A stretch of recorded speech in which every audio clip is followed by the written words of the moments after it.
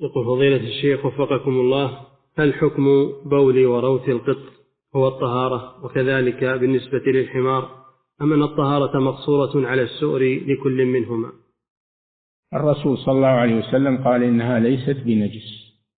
وما دامت ليست بنجس فنحن نقول إنها طاهرة كما قال الرسول صلى الله عليه وسلم. ولا تفتشون عن ما بقي من الأمور تحرثون. خلاص. القطة طاهرة وحتى الفقهاء قالوا وما وما يماثلها في الخلقة. ما يماثلها في الخلقة طاهر أيضا. نعم.